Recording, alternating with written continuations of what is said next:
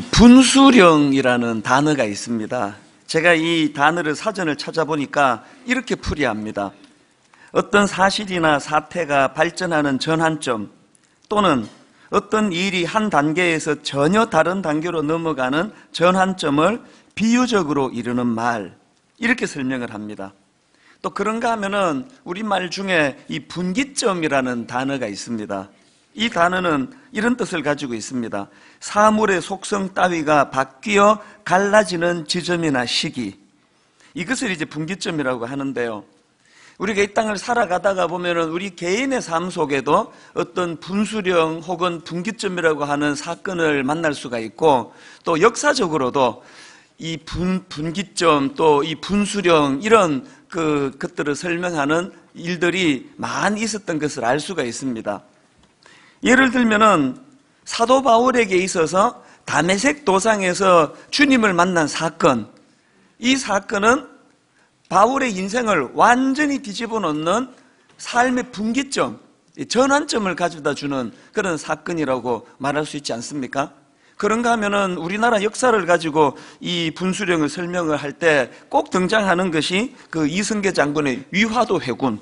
이 위화도 회군이 만약에 없었더라면 우리나라 역사가 뭐 완전히 바뀌었을 거 아닙니까? 조선시대 자체가 없었을 것이고요. 그래서 이 위화도 회군이라고 하는 이 사건은 우리나라 역사를 바꾸어 놓는 분수령이 되었다. 혹은 분기점이 되었다. 이렇게 설명할 수 있는 사건입니다.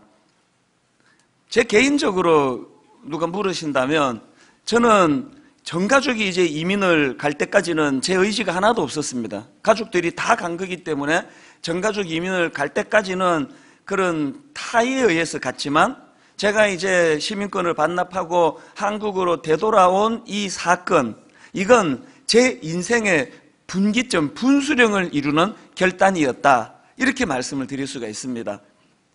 여러분들에게는 이런 그 분수령 혹은 분기점이라고 하는 그런 사건이 혹시 있었는지 모르겠습니다. 제가 왜 오늘 말씀을 이렇게 시작하는가 하면은 지금 방금 읽은 오늘 본문 사도행전 1장 6절부터 14절 말씀이 이 기독교 역사에 있어서 진짜로 중요한 분수령 혹은 분기점이다. 이렇게 말할 수 있는 사건이기 때문에 그렇습니다. 지금 오늘 본문에 어떤 내용이 담겨져 있습니까? 예수님께서 이제 부활하셔서 승천하시는 상황이에요. 이 제자들은 이 땅에서 예수님과의 이제 이, 이 만남이 이제 더 이상 이루어지지 않습니다. 이것이 제자들에게 얼마나 이게 불안하고 또 두려움을 가져다 주는 일이었겠습니까?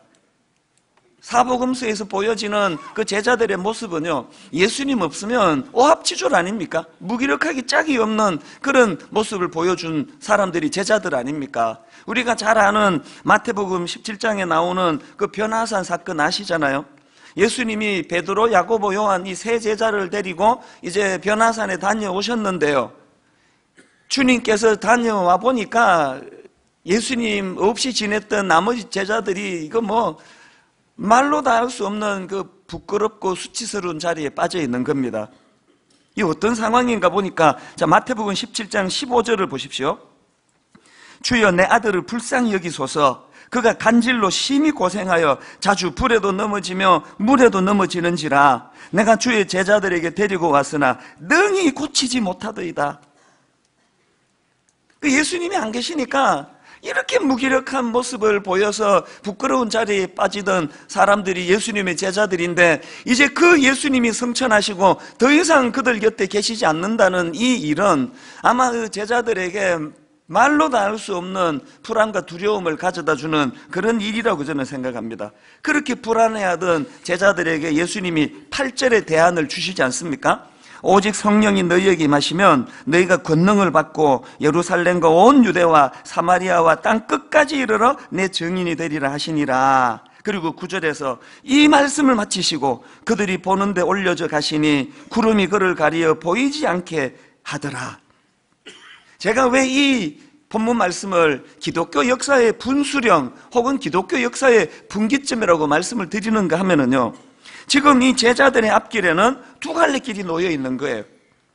이제 더 이상 예수님이 존재하지 않는 이 땅에서 더 이상 예수님의 영향을 받을 수 없는 그런 상황 속에서 그 변화산 사건이 일어났을 때와 같은 참 부끄럽고 수치스러운 자리로 빠져가지고 이제 완전히 예수님 없는 부재 상황이 영적 암흑기로 그렇게 이것이 연결되거나 아니면 또 다른 한 길이 뭘까요? 예수님이 주신 대안, 예수님이 주신 약속, 이제 주님이 하신 약속대로 성령님과 더불어서 새로운 차원의 영적인 부흥을 맞이하거나 이 두 갈래 길이 지금 놓여져 있는데 이 분기점에서 제자들은 진짜 위대한 결단을 내립니다. 저는 이걸 위대한 결단이라고 표현하는데요. 그 상황에서 제자들이 했던 일이 뭔가 하니까 14절입니다. 여자들과 예수의 어머니 마리아와 예수의 아우들과 더불어 마음을 같이하여 그 다음에 오로지 기도에 힘쓰더라. 저는 여러분 이 한 표현이요. 오로지 기도에 힘쓰더라. 그 상황에서 제자들이 보여주었던 이 한마디가 기독교 역사를 바꾸어 놓았다고 저는 생각을 합니다. 왜 그러냐 하니까 이 14절에서 보여준 오로지 기도에 힘쓰더라는 이 한 표현이 이것이 초대 교회 태동의 모체가 되었고요. 그리고 이것이 이제 이후에 성령님의 강한 역사와 초대 교회 부흥으로 연결되는 시발점이 된 거예요. 초점이 된 거예요.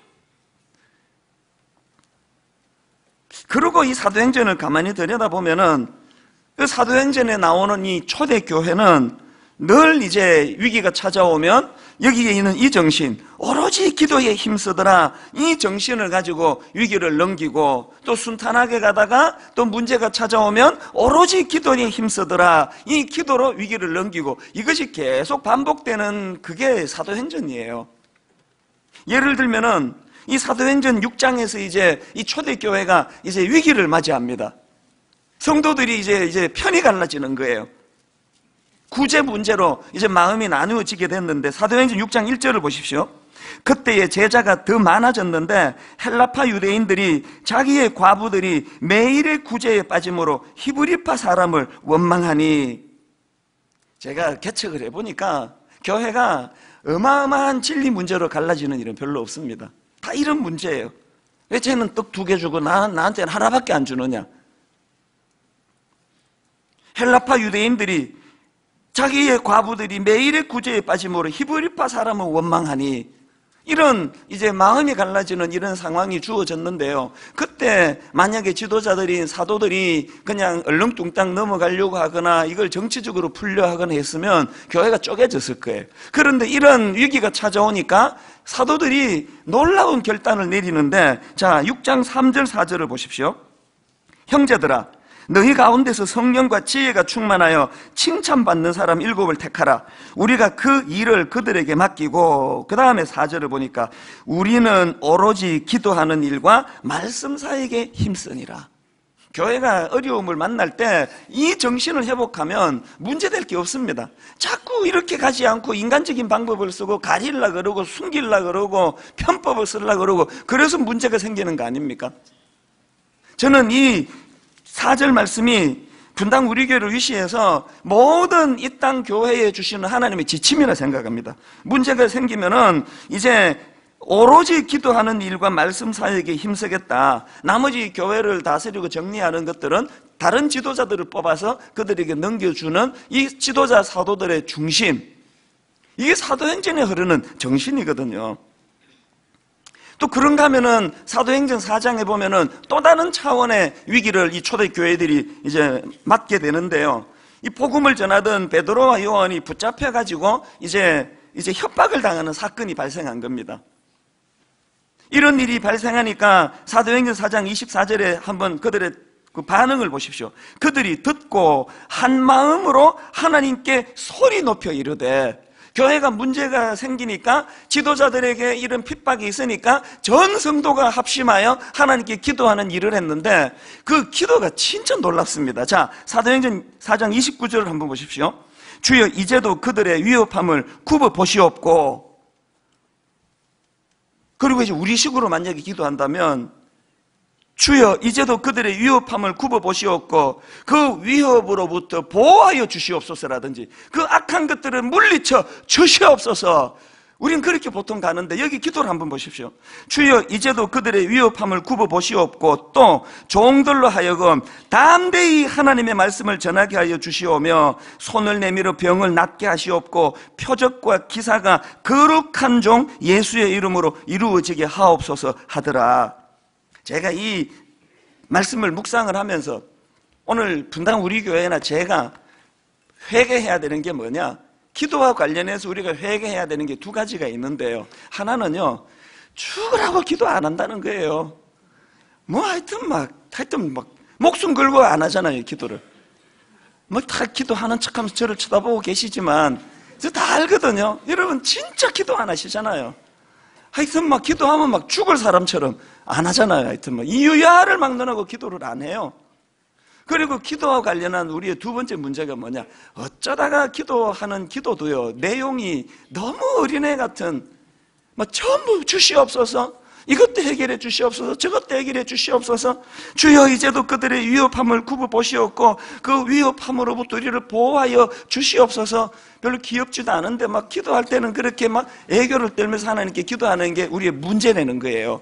여기에 지금 이 초대교회 성도들의 이 성숙한 기도는 뭡니까? 주여 이제도 그들의 위협함을 굽어 보시옵고 그런 위협함에 맞설 수 있도록 종들로 하여금 담대히 하나님 말씀을 전하게 하여 주시옵고 그 다음에 손을 내밀어 병을 낫게 하시옵고 표적과 기사가 거룩한 종 예수의 이름으로 이루어지게 하옵소서 초대교회는 밟으면 밟을수록 더 일어나는 거예요 핍박하면 핍박할수록 더 일어나는 거예요 이 기도가 그렇게 만든 거예요 우리는 밟으면 금방 죽어버리는 거 아닙니까? 맨날 막 그냥 나약한 어린애처럼 보호해 주시옵소서, 살려 주시옵소서, 인도해 주시옵소서. 기도의 내용이 달라지면 신앙의 핵심이 달라지는 거예요. 그래서 점점 위협이 많으면 많을수록 더 담대해지고 그 위협과 맞서기 위하여 더 강력한 하나님의 능력이 나타나는 이런 신앙생활을 우리가 누리기를 원하신다면 사도행전에서 보는 이 기도의 이 아름다운 패턴을 우리가 배워야 한다는 겁니다. 그렇게 성숙한 기도를 드렸더니 어떤 일이 벌어졌느냐? 자, 31절을 보십시오. 빌기를 다함에 모인 곳이 진동하더니 무리가 다 성령이 충만하여 담대히 하나님의 말씀을 전하니라. 다음 주일날 이제 성령과 부흥에 대해서 말씀을 전하려고 하는데요. 이 모든 초대교회의 역사에 있던 하나님의 성령님의 강력한 역사하심은 다 기도와 연관이 있더라는 거예요. 우리의 기도가 달라지면 성령의 역사가 나타날 줄 믿습니다. 우리의 기도가 성숙해지면 우리 안에서 일하시는 성령님께서 우리의 삶 가운데 역사하시는 것을 목도하게 될 줄로 믿습니다. 이런 패턴은 사도행전에만 나오는 게 아니에요. 제가 이 부흥에 대한 설교를 할 때 구약을 주로 본문으로 많이 사용했는데 왜 그러냐 하니까 구약에는 이런 다양한 부흥 운동의 사례들이 열거가 되거든요. 예를 들면 사무엘상 7장에 기록되어 있는 미스바에서의 부흥 사건이라든지 또 느헤미야 8장에 나오는 수문앞 광장에서의 부흥이라든지 거기 보면은 공통점이 뭐냐? 말씀이 먼저 나오고 말씀을 깨닫고 난 사람들이 기도하는 자리로 나가는 거예요. 이 말씀과 기도, 기도와 말씀의 조화가 항상 부흥의 두 그 요소들이라는 겁니다. 성경에만 그런 게 아니고요. 기독교 2000년 역사 가운데 일어났던 우리 평양 대부흥을 위시해 가지고 모든 부흥 운동과 부흥의 역사에는 이 말씀과 기도가 세트로 같이 등장하는 거예요. 이 기도라는 것이 이걸 인간적인 관점으로는 기도해서 부흥이 일어났다 이렇게 말씀드릴 수 있지만 이걸 하나님의 관점으로 동전의 양면처럼 뒤집어 말씀을 드리자면 하나님께서는요 우리 인생이나 우리 역사나 할 것 없이 우리 삶의 중요한 분수령 혹은 우리 인생의 분기점을 가져다 주는 사건을 맞닥뜨리게 할 때 주님은 꼭 기도하게 하십니다. 기도를 통해서 분수령이 일어나는 거예요. 예를 들면은 지금 분당 우리 교회가 그 좋은 사례인데요. 저는 처음에 이런 하나님의 뜻을 몰라가지고 상가 한 70평 얻어가지고 교회를 개척하려고 했는데 하나님께서는 너무나 큰 꿈을 가지고 분당 우리 교회를 바라보셔가지고 이제 그 상가보다는 이 송림중고등학교를 주님이 예비해 두신 거 아닙니까? 여기가 여러분 땅이 만 평입니다. 우리나라에서 이 중고등학교 만 평 갖는 거 많지 않, 그, 이런 경우가 많지 않습니다. 그런 하나님의 그 계획을 종이 모르니까 그 상가 얻어가지고 그렇게 하려고 하니까 하나님께서 인근에 계시는 목사님을 통해 가지고 역사하심으로 말미암아 거기서 쫓겨나고 그렇게 해서 여기 들어온 거 아닙니까? 아, 근데 여러분 한번 생각해 보십시오. 하나님이 기왕에 그런 계획을 갖고 계셔서 우리를 인도하셨다면 요즘 애들 말로 그냥 쌈박하게 그냥 팍 주시지. 얼마나 이걸 질질 끌었는지 압니까? 몇 달 동안에 이거 피가 마르듯 피가. 될 듯 말 듯 될 듯 말 듯 그러니까요. 그 사실 저는 저희 아버지가 그 금식 기도하다가 돌아가셨기 때문에 난 그 트라우마가 있어가지고 어제가나면 저는 금식 안 합니다. 그냥 먹으면서 기도해요. 그러나 여러분 그 교회를 개척하는 과정에서 분당 우리 교회가 송림중고등학교로 가는 과정에서 너무너무 피를 말리는 그런 시간이 끌려지니까 종이 금식을 하더라 금식을 금식하면서 기도했거든요. 왜 하나님은 기왕 주실 거 깔끔하게 어? 그, 그, 이 표현은 좋은 표현 아니면 기마이 쓴다는 게 있잖아요. 그냥 팍 주시면 되는데 왜 이렇게 질질 꺼시다가 주시느냐고요. 왜 그렇다고요? 여러분, 하나님은요, 인간이든, 인생이든, 교회든, 역사든 간에 분기점을 주실 때, 분수령을 주실 때는 기도하게 하시, 기도하게 하는 거예요. 여러분, 여기에서 반성할 게 좀 계실 건데, 여러분들한테.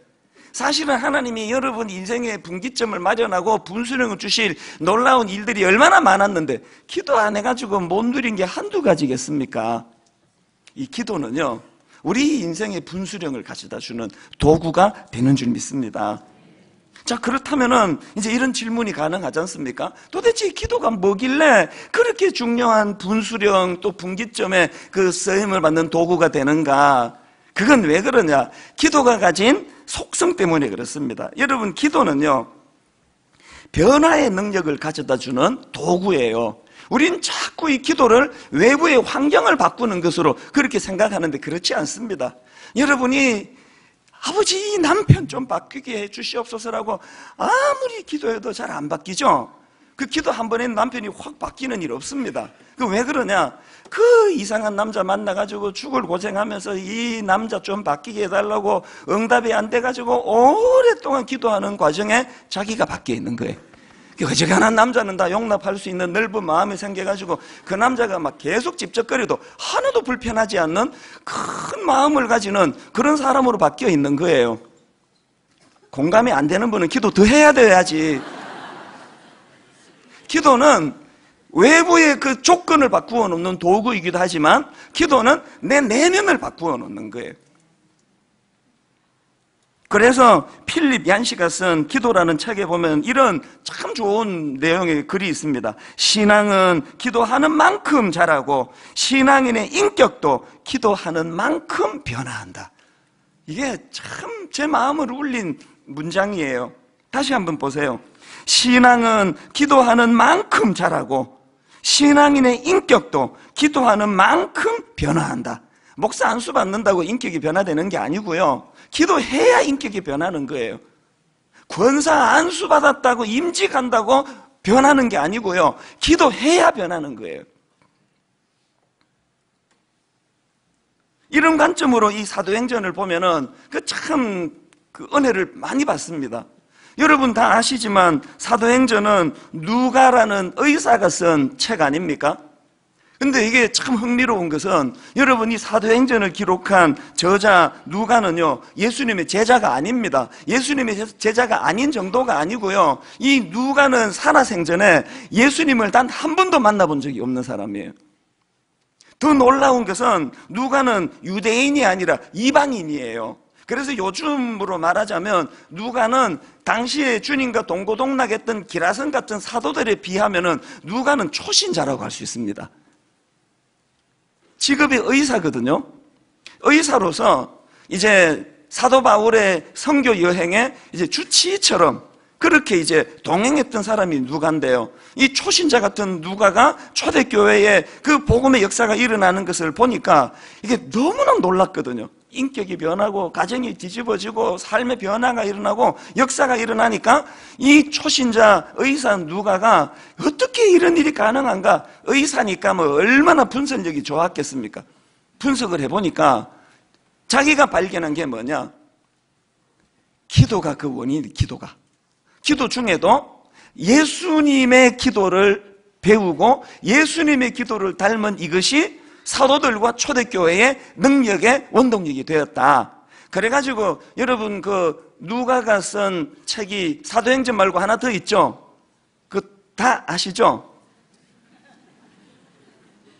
아, 여러분이 알 수밖에 없도록 제가 질문을 던질게요.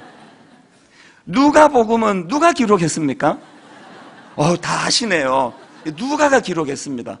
그래서 누가복음 누가복음하고 사도행전은 누가가 기록한 그 두 권의 책인데요.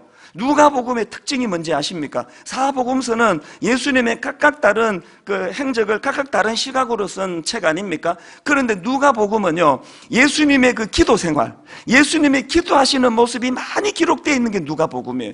다른 사복음서 중에 나머지 세 성경에는 생략되어 있는 누가복음에만 기록되어 있는 예수님의 기도하는 모습이 많이 나오는 게 누가복음이에요. 누가복음의 특징은 예수님의 기도하는 모습과 그럼에도 절대로 기도 안 하는 제자들의 모습이 대비되어 있는 게 누가복음이에요. 그런가 하면은 사도행전으로 가서는 드디어 이 제자들이 이제 아까 그 분수령, 그 분기점, 모여 기도하는 그 일을 통해 성령님의 강력한 역사를 경험하고 그들이 예수님에게 배운 기도를 사도들이 행하기 시작하는 그것으로 말미암아 사도들의 기도가 많이 기록되어 있는 게 또 사도행전이에요. 뭘 알 수 있는지 뭐 눈치 빠른 분 다 아시겠죠? 기도가 사도행전의 그 다이나믹하고 그 놀라운 변화의 원동력이더라는 것입니다. 그래서 이제 우리가 이런 사도행전의 정신을 인식을 하고 우리가 정말 이 기도에 관심을 좀 가져야 되는데요. 중요한 건 뭐냐? 우리가 기왕에 하나님께 기도한다면 그 우리 기도가 이 능력 있는 기도가 되기 위해서 그럼 어떻게 하면 좋으냐? 두 가지로 제가 정리를 해보았는데요. 여러분, 첫째로요. 우리가 드리는 기도가 능력의 도구가 되게 하려면 이 기도를 인격체 대신 하나님을 인정해 드리는 행위로 이해해야 된다는 거예요. 제가 전에도 말씀드렸지만 수능 시험 당일날 제가 보니까요. 이 기도라는 게 우리 기독교의 전유물이 아니더라고요. 모든 종교가 기도가 다 있습니다. 불교에서 기도는요. 우리의 정성하고는 이 비교가 안 됩니다. 우리는 그냥 앉아서 그냥, 그냥 뭐 그냥 허리만 이렇게 흔들고 기도하지만, 불교 신자들을 보니까 그냥 섰다가 앉았다 엎드렸다, 뭐 관절 다 나갈 것 같아요.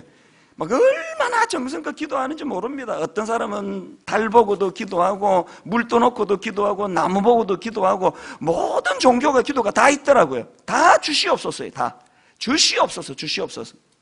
그러나 여러분, 이 모든 다른 종교하고 우리 기독교와 기독교만의 기도와 관련한 우리 기독교만의 독특성이 뭐냐? 모든 종교의 기도가 있지만 그 다른 종교들에게는 자기들이 믿는 신과 인격적인 교제는 없습니다. 달 보고 빌기는 하지만 달과 교제하지 않습니다. 나무 보고 빌기는 하지만 나무와 인격적인 교제할 수 없다는 거 자기들도 다 알아요. 우리 하나님은 인격을 가지신 하나님이에요. 우리와 교제하기를 원하세요. 그리고 모든 인격을 가진 존재는 자기를 존중해 주기를 원하거든요. 여러분, 우리가 하나님 앞에 죄를 많이 짓잖아요. 뭐 성적으로도 죄를 짓고, 뭐 거짓말로 죄를 짓고, 남을 해하기도 하고, 뭐, 뭐 별의별 죄를 다 짓지만 하나님의 관점으로 그 죄들 중에 가장 악한 죄가 뭔지 아십니까? 하나님을 피조물이 나무 취급하는 거, 달 취급하는 거, 물 취급하는 거. 언제 그런 일이 가능합니까? 뭐 달라고 요구할 때 말고는 하나님과 교제할 생각을 안 하는 거. 이게 가장 악한 일이에요. 하나님이 나무입니까? 하나님이 달입니까? 하나님이 인간이 만든 어떤 주물 가지고 떠 만든 어떤 형상입니까? 돌 깎아 만든 어떤 형상입니까? 하나님이 인격이 인격. 교제하기를 원하세요. 인정받기를 원한 이 뭐 기도를 그냥 뭐 주시옵소서 하고 구할 때 말고는 전혀 기도를 쓰지 않는 거. 이게 우리 신앙의 근본적인 침체 원인이라는 거예요. 제 딸아이가 이제 삼수를 거쳐가지고 드디어 올해 이제 자기가 원하는 대학을 들어갔습니다. 이 과정에서도요, 그 하나님의 일하심이 진짜 놀라웠습니다. 이 애의 뭐 그 교만을 다 꺾으시고 납작 엎드리게 만드시고 나중에는요 원서 써놓고요 막 새벽 기도를 나오는 게 새벽 기도를 막 자진해서 새벽 기도를 나오는데 그 정성은 눈물겹습니다. 눈이 눈이 새벽에 쏟아지는 날에도 막 영하 막 20몇 도 내려가는 날에도 한결같이 새벽에 나와가지고 주님 앞에 기도하더라고요. 그렇게 간절히 부르짖었는데 놀라운 게 뭐냐? 드디어 합격을 이제 소식을 들은 거예요. 자기가 원하는 대학교 합격 소식을 오늘 오후에 듣고 내일 새벽부터 끊더라고요. 새벽기도 안 나가요, 더 이상. 그래서 제가 밥 먹다가 한 번 내가 이렇게 좀 그, 그 지적을 했습니다. 네가 인간이 진짜 하나님 앞에 체면이 있으면 그래도 형식적으로 한 2, 3일 나가다가 끊어야지. 어떻게 어제 그렇게 기도 응답 받았다고 오늘부터 싹 끊어버리냐? 그랬더니 자기도 좀 민망했던지 큐티는 계속 하는데요. 그러더라고요. 여러분 지금 웃으셨지만요. 지금 얘가 아직 어리니까 이 우리 딸아이가 지금 하고 있는 이, 이, 이 기도와 관련한 이 패턴이 이게 우리 아닙니까? 이 기도라는 건 하여튼 얻어내는 거. 그리고 딱 얻어내면 딱 이제 그래 끝났는데 뭐 찾을 일이 뭐가 있느냐는 거. 이런 생각이 우리 신앙을 너무너무 제한시키는 거라는 거예요. 제가 이 설교를 준비하면서 그 책을 몇 권 구입했는데 그 중에 하나가 기도와 사랑에 빠져라 이런 제목의 책을 구입했는데요. 그 책을 딱 구입해서 보니까 부제가 이렇게 돼 있더라고요. 기도와 사랑에 빠져라. 그러면 하나님과 사랑에 빠진다. 저는요, 이 부제 하나로요, 그 책 안 읽고 버려도 책값 했다고 저는 생각했습니다. 이게 얼마나 제게 의미를 가져다 줬는지 모릅니다. 기도와 사랑에 빠져라. 그러면 하나님과 사랑에 빠진다. 리차드 포스트도 비슷한 말을 했습니다. 참된 신앙은, 아, 참된 기도는 말에서 나오는 것이 아니라 사랑에 빠졌을 때 나온다. 다시 한번 들어보세요. 참된 기도는 말에서 나오는 것이 아니라 사랑에 빠졌을 때 나온다. 10편 116편 1절 2절에 이런 내용이 나옵니다. 여호와께서 내 음성과 내 간구를 들으심으로 내가 그를 사랑하는도다. 그의 귀를 내게 기울이셨으므로 내가 평생에 기도하리로다.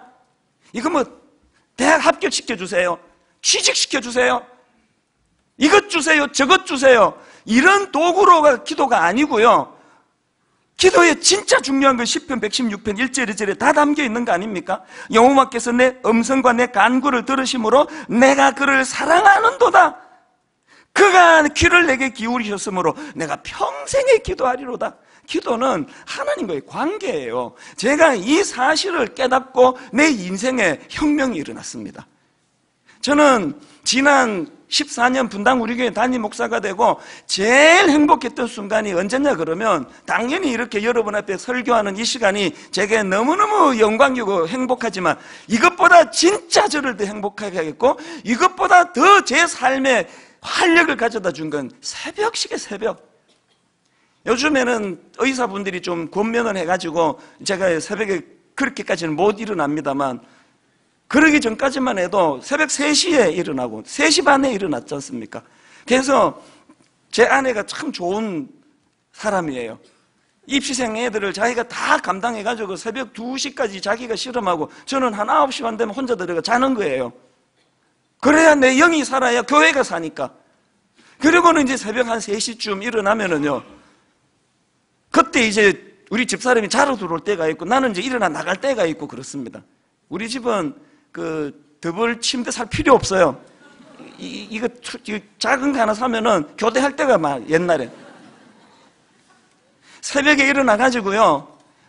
조용히 하나님께 독대하고 하나님께 기도하고 하나님의 말씀을 묵상하고 경청하는 그 시간이 내 생애에 이것만큼 행복했던 적이 없습니다.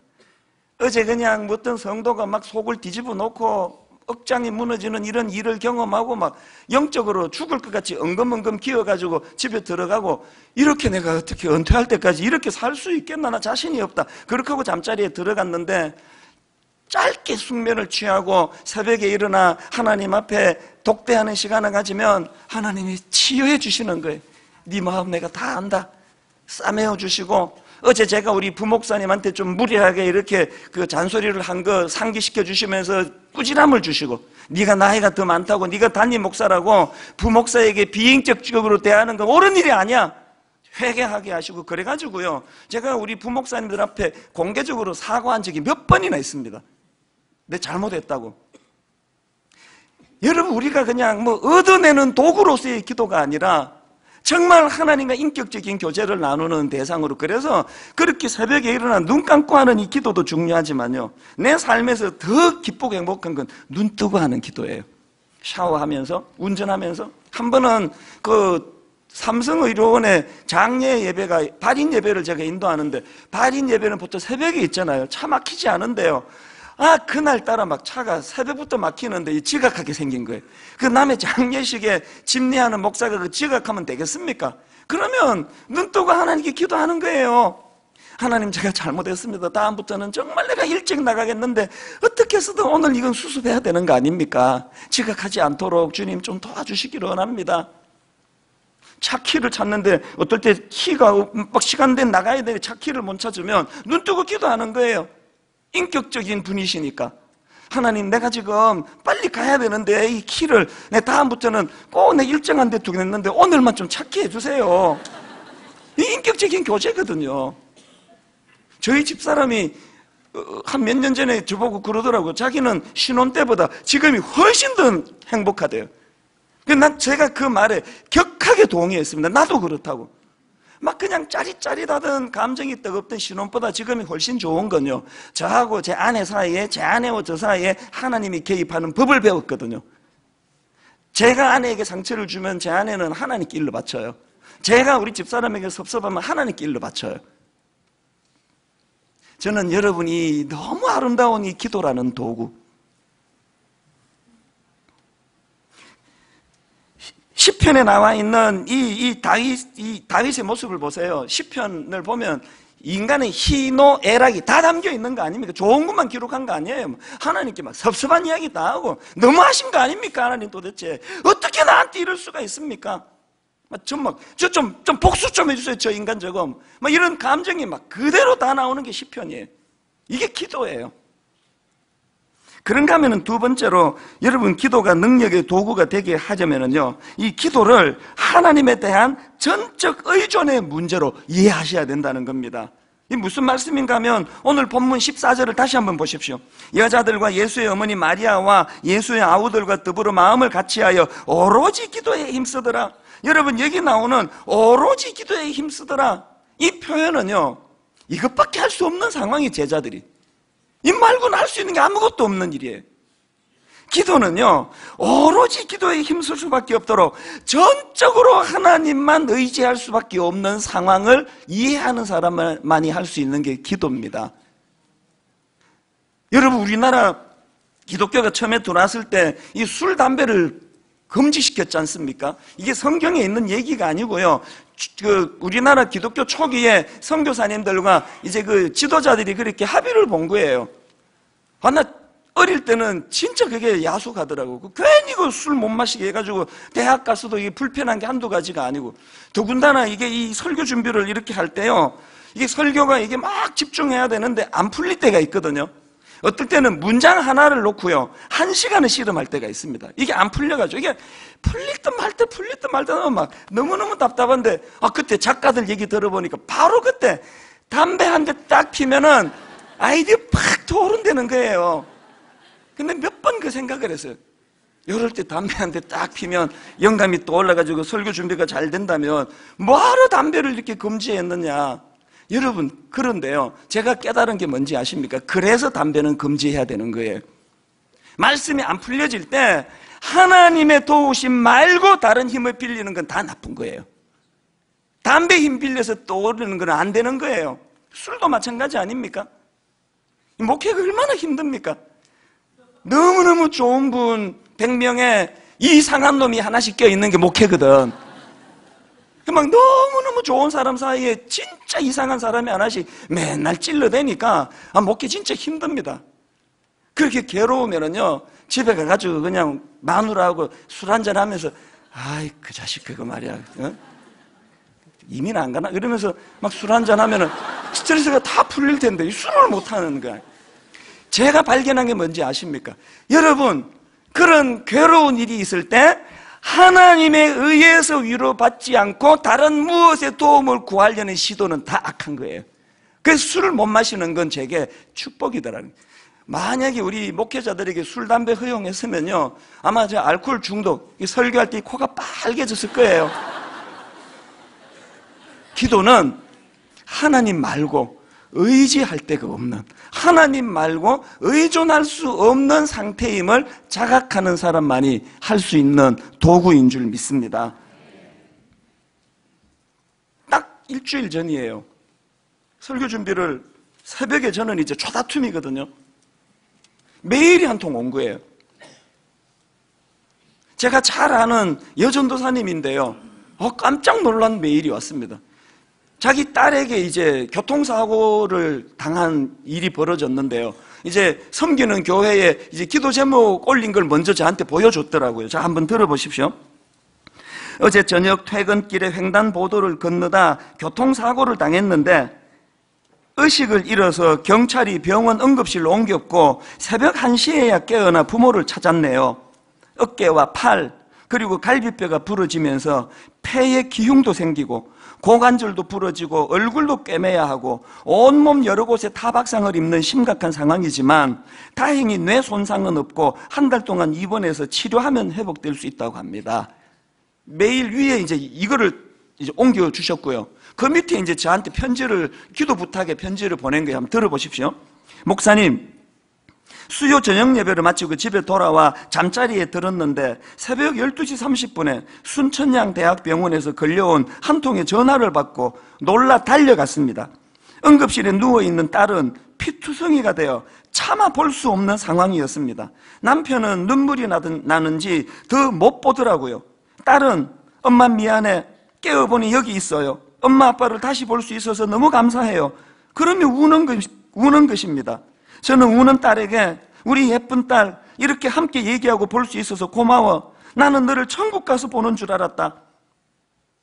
목사님, 사실 처음 전화 받을 때 속으로 주님 목숨만 살려주세요라고 기도했지요. 그랬는데 3일이 지난 지금은 폐의 출혈도 멈추었고 기흉도 빠지고 박은 호수도 빼고 폐도 정상으로 퍼지고 했다고 주치의가 폐 수술은 하지 않아도 된다고 하네요. 첫날은 공기가 차서 한쪽 폐가 심하게 찌그러져 호수 밖으로 피가 나오고 있던 상황이었거든요. 골절된 고관절과 팔은 수술을 하지 않아도 되지만 한 달 정도 누워서 안정을 취해야 하고 부러진 어깨만 수술 날짜 받아놓고 있습니다. 자, 그 다음 한번 들어보십시오. 병원에서 딸을 간호하며 100가지 감사 기도를 적게 되었습니다. 첫째, 하나님이 우리 아버지셔서 이 모든 일을 주관하시고 선하게 하실 주님임을 찬양합니다. 둘째, 큰 일이 행해지기 전에 꼭 거쳐야 하는 일이라면 지금 이 교회적으로 큰 일을 지금 앞에 놓고 있거든요.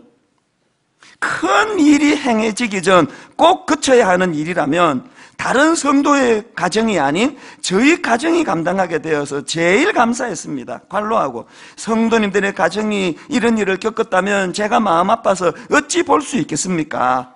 셋째, 29년 동안 딸을 통해 많은 기쁨을 주셨는데 또 이렇게 주님과의 깊은 스토리를 주셔서 감사합니다. 넷째, 엄마, 나 일상으로 돌아갈 수 있을까요? 계속 같은 자세로 꼼짝 못하고 누워있으니 허리가 너무 아파요. 그냥 서 있는 것, 가고 싶은 곳 가는 것, 볼 수 있는 것, 잊고 있었던 소중한 것들이 너무 많아요, 엄마. 이 딸아이가 병원에서 움직이지 못하니까 자기가 평상시에 누리던 모든 게 다 감사라는 걸 깨달았다는 거예요. 그것이 감사. 그리고 다섯 번째, 믿음의 공동체가 있어서 내 일처럼 한 마음으로 중보기도 해주시고 물심양면으로 사랑해 주시는 지체들의 섬김은 천국 생활이 이런 것이지 않은 평안과 기쁨을 주었지요. 이렇듯 현실 그대로 느낀 점을 한 줄 한 줄 써내려간 감사가 벌써 60가지가 넘습니다.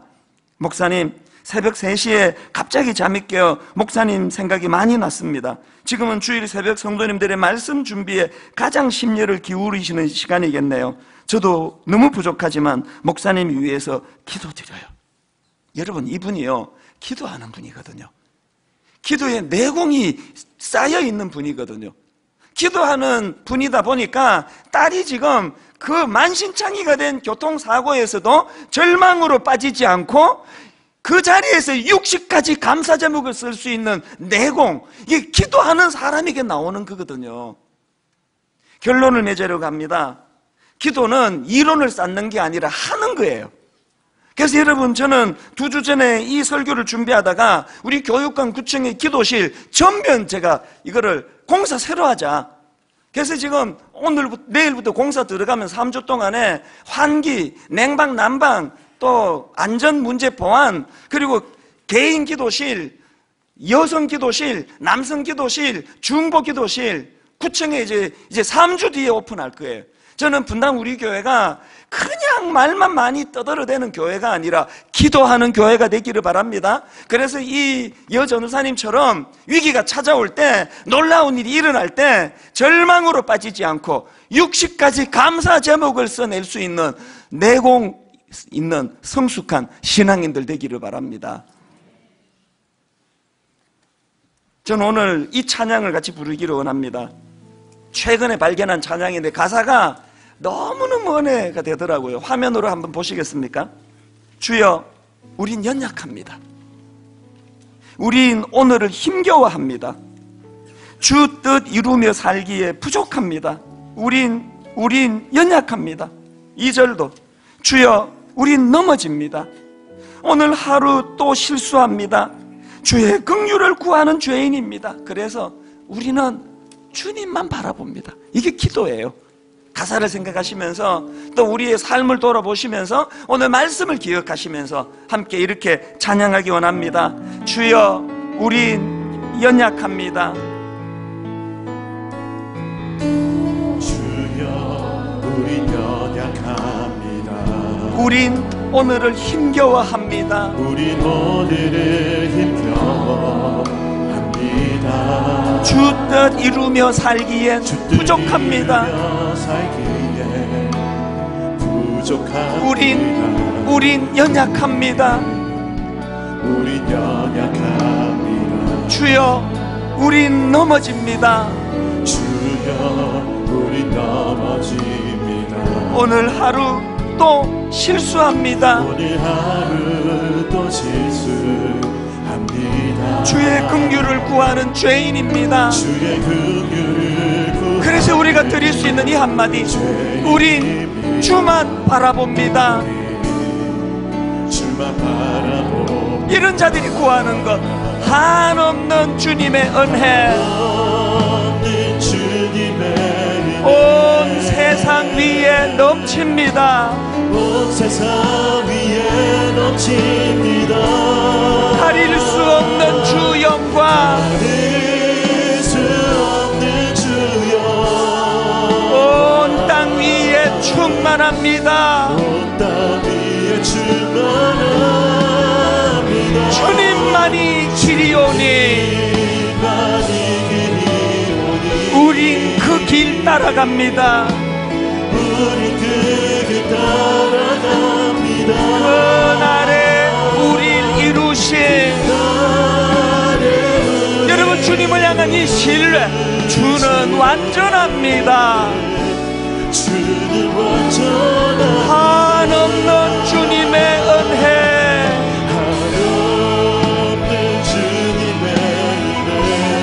온 세상 위에 넘칩니다. 가릴 수 없는 주 영광 온 땅 위에 충만합니다. 주님만이 길이오니 오니 우린 그 길 따라갑니다. 우리 그길 따라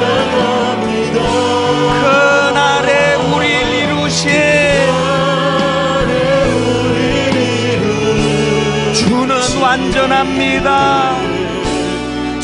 우리 다 자리에서 일어나셔서 한없는 주님의 은혜 우리가 약하면 약할수록 온 세상 위에 넘칩니다. 위에 가릴 수 없는 주 영광 일수 없는 주여 온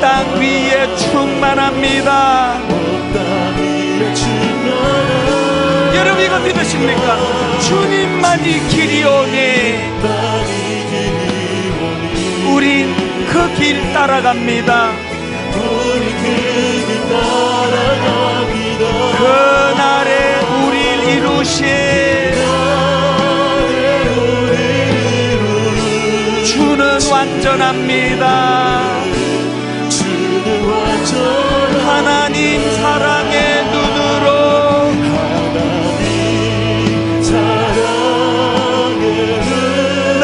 어느 때나 바라보시고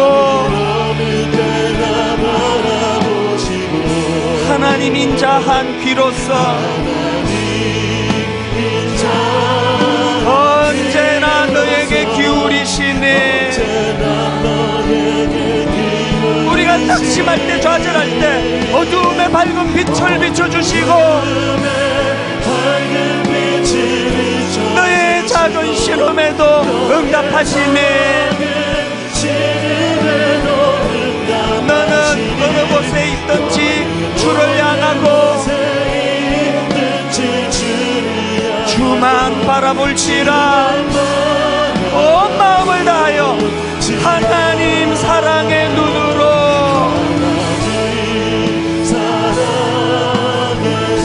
너를 어느 때나 바라보시고 우리가 기도할 때마다 하나님 인 자 한 귀로서 언제나 너에게 기울이시네. 어두움의 밝은 빛을 비춰주시고 너가 고통할 때마다 너의 작은 신음에도 응답하시네 어느 곳에 있든지 주를 향하고 주만 바라볼지라. 주만 바라볼지라.